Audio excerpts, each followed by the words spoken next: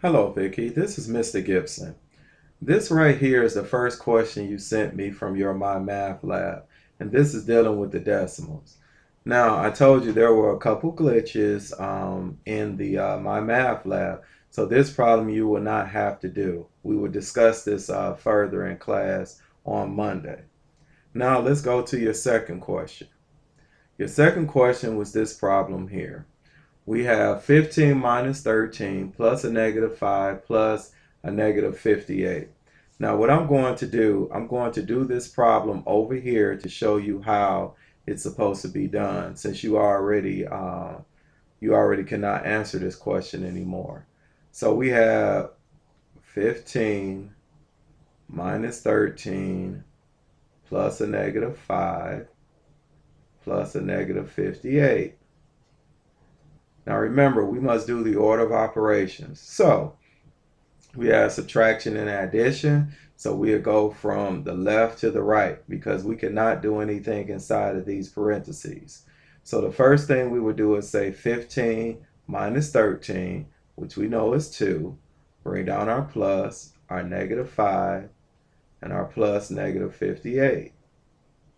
Now we have 2 plus negative 5. 2 plus negative 5 is a negative 3 plus a negative 58.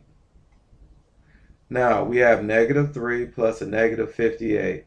Remember, when you're adding and you have the same sign, you add them together. 3 and 58 is 61, and you carry the sign.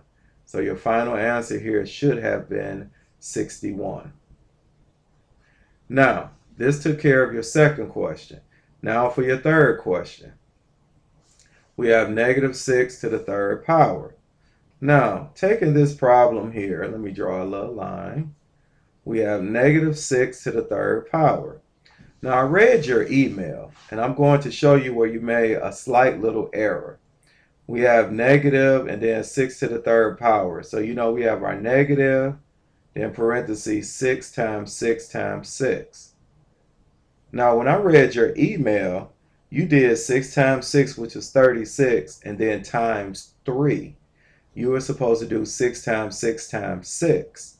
So, we can go off to the side here. 6 times 6, we know it's 36.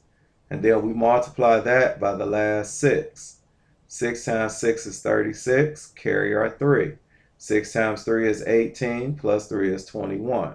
So we add 216 and we bring down our negative sign and we're done.